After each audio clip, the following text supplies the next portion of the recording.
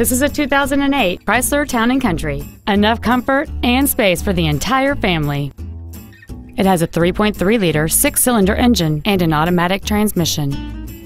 Its top features include air conditioning with automatic climate control, cruise control, passenger and driver side sliding doors, a CD player, a security system, a low tire pressure indicator, traction control and stability control systems, an anti-lock braking system, a rear window defroster, and this vehicle has fewer than 37,000 miles on the odometer.